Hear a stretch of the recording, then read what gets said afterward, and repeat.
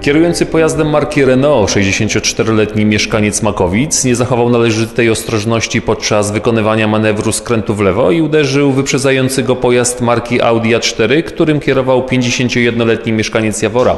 E, pokrzywdzony kierowca Audi został przewieziony do szpitala specjalistycznego w Legnicy. Po badaniach został jednak zwolniony.